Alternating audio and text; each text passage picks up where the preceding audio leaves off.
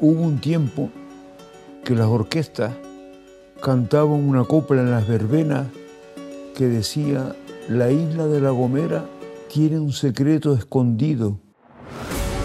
Es la única en el mundo que habla con el silbido.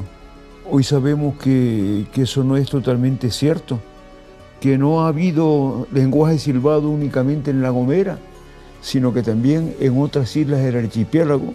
En Tenerife tengo constancia que había silbo en Anaga, en los silos, tengo referencias. El silbo usaba para mandarse los mensajes de uno a otro, se los pasaban y que todavía eh, existía en la zona donde él lo documentó, que era en la zona alta de la Orotava. De una ladera a otra del Valle de la Orotava se silbaban.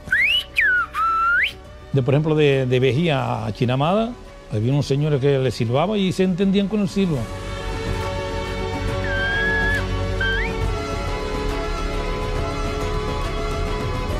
Ese era el teléfono que tenía, el hablarse con el ciego.